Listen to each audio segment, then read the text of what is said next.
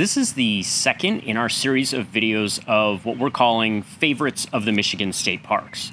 It's not a best of list necessarily because it's very subjective, and we looked at places around the state that we thought might be a good place for different reasons. The last video was about hiking, uh, and if you haven't seen that, I'm going to put a link to it below in the description.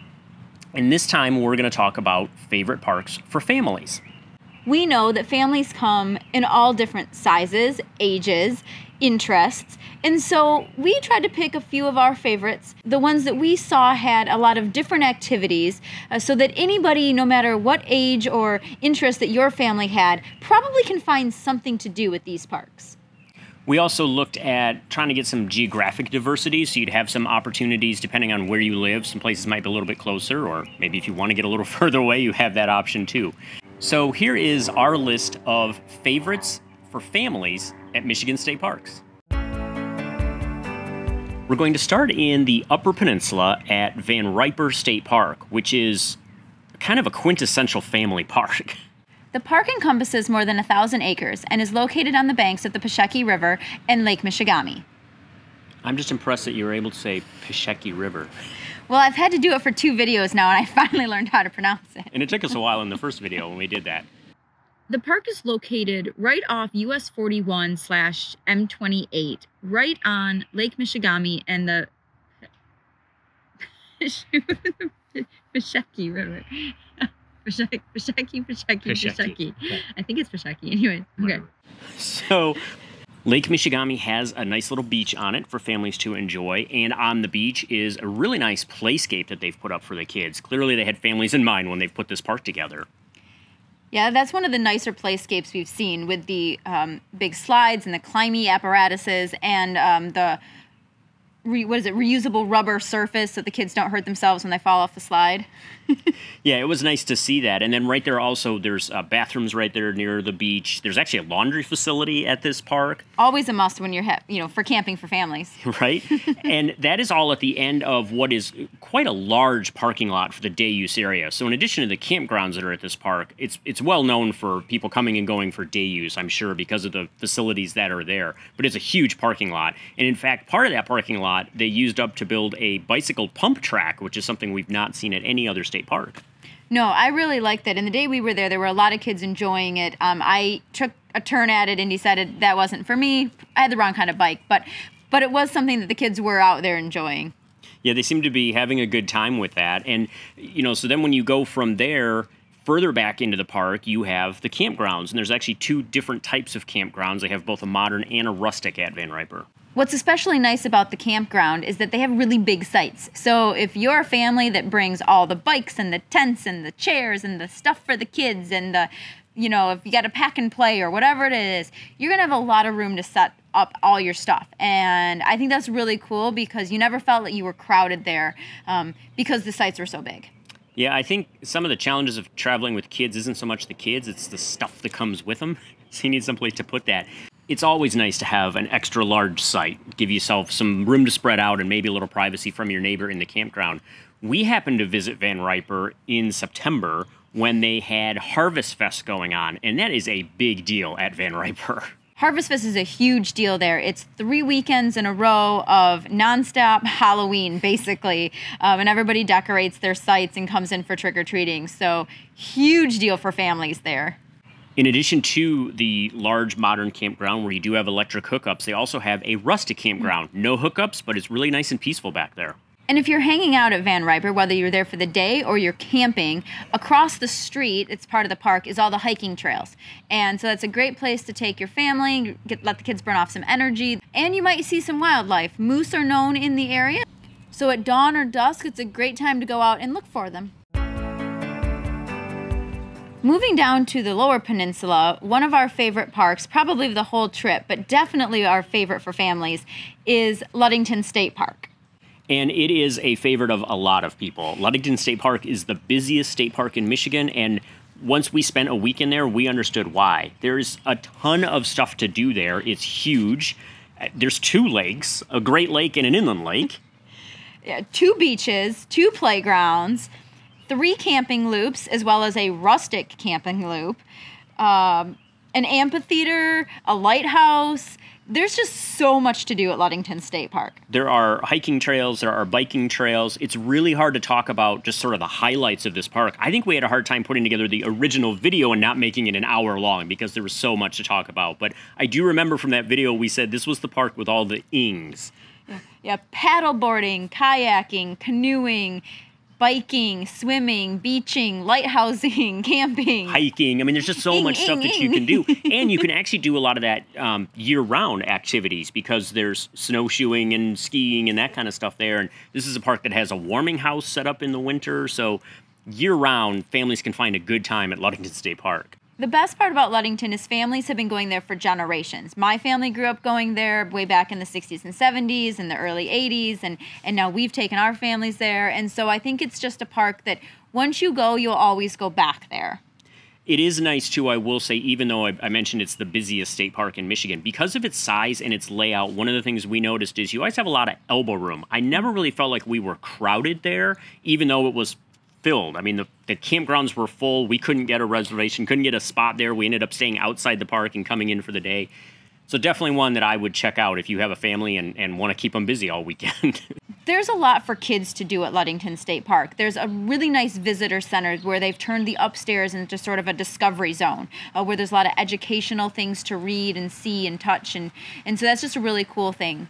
There's, uh, in addition to the two lakes, you've also have the river that runs through, and so you can rent tubes or bring your own tubes and take a nice leisurely float down the river. You'll end up at Lake Michigan, and then you know walk back, and that's all within the state park. Moving further south in the lower peninsula, in southwest Michigan, you have Warren Dunes State Park, named for the dunes that are there, which is a huge part of that park and a lot of fun to enjoy.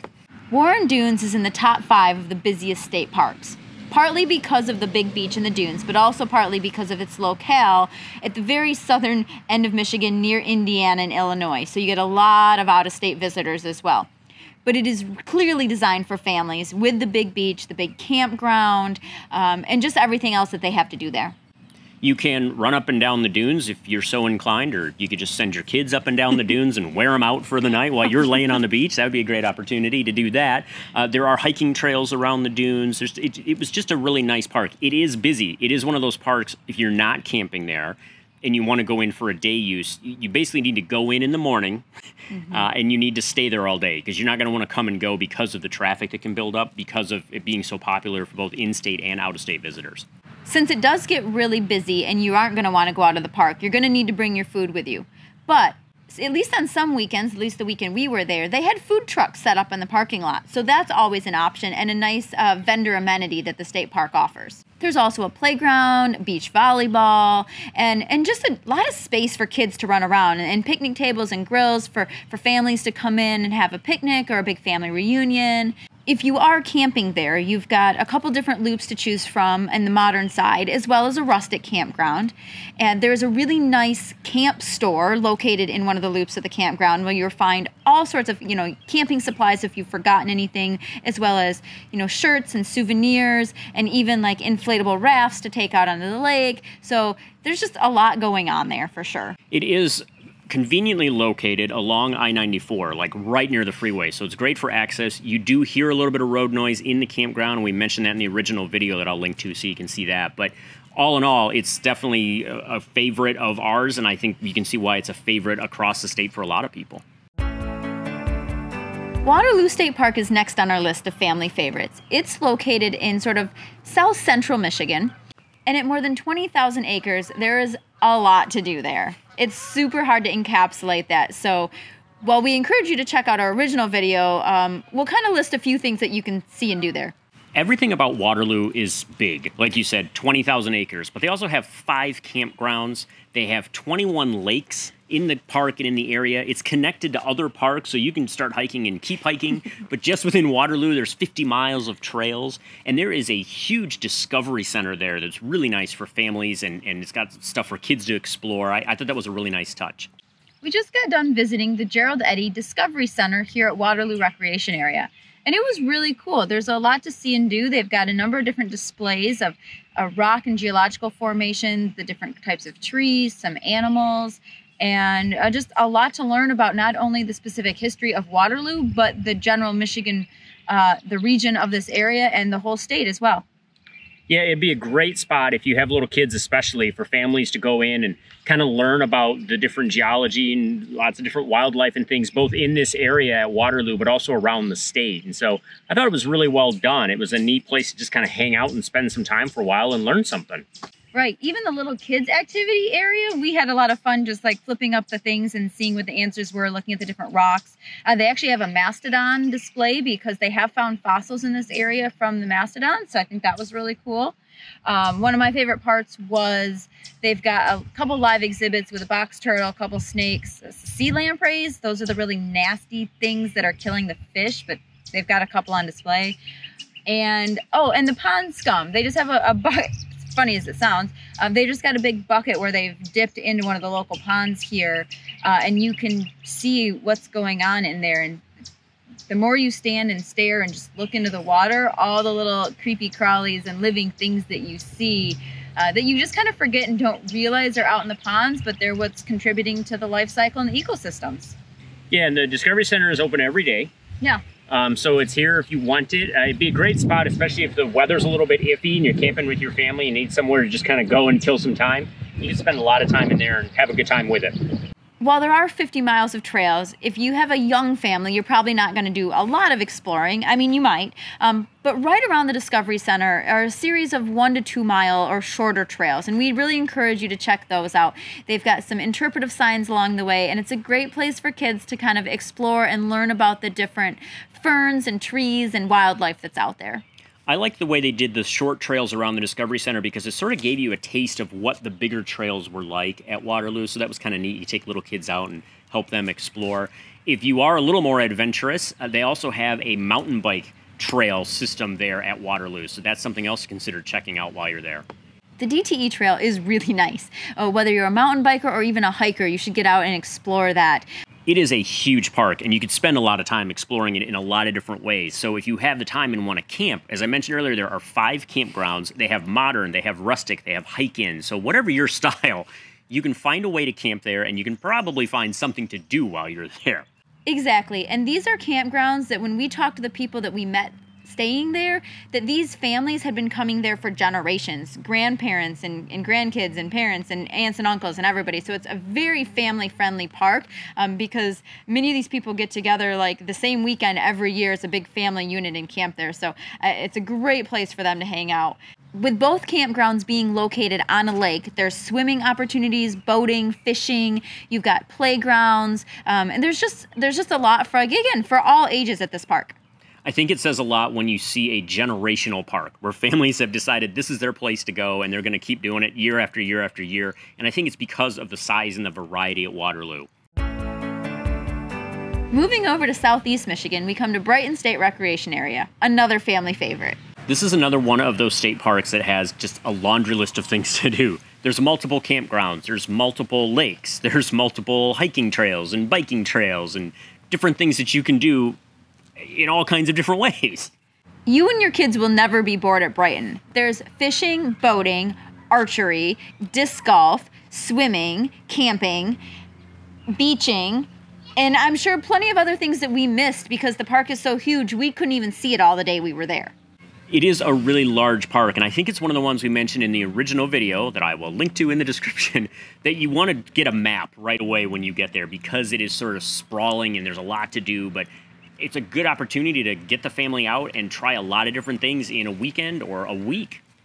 Or even just for the day. There's just so much to do. Uh, but like you said, make sure you know ahead of time where you're going to go and have that map because there are multiple entrances to this park. So depending on if you want to go to the big lake, the small lake, the hiking trails, the disc golf, you're going to probably want to know ahead of time where you're going. It's just a big park with a lot of variety. And that includes the campgrounds. So depending on the style of camping you like, there's modern, there's rustic. Uh, they have mini cabins if you're not into the camping scene. There's a yurt. It's one of the one of the state parks now that has yurts, which we still have yet to stay in, but we have that on our bucket list of things to do. I know you really want to stay in a yurt.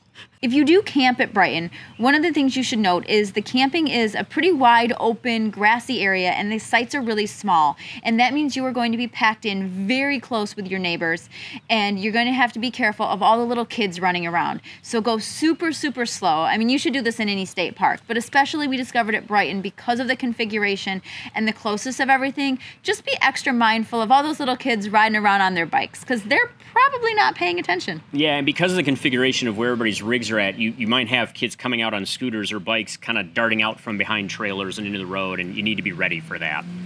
All in all, though, it made our list of favorites because it is a great park for families, and you should consider checking it out. We really hope you enjoyed our five favorites for families. They were in no particular order. We simply started with the Upper Peninsula and worked our way down. But we really did enjoy these parks, and we think that they are great for families of all ages. So consider checking some of these out. All of the 103 state parks offer something that you can enjoy if you really want to get out and check them out. But these are the ones that we picked out for families in Michigan. Get your family together, get out camping, keep on trekking. And we'll see you out there. We're going to start oh, in. Oh, I thought I was starting, so I. I said I was going to start, and then you talk about it. That's not what I. Okay. Because I, I just didn't open my mouth as right as you went to say that. Like a ventriloquist? You open your mouth and I talk. Because I was like, Okay, I'm going to start. okay. Okay.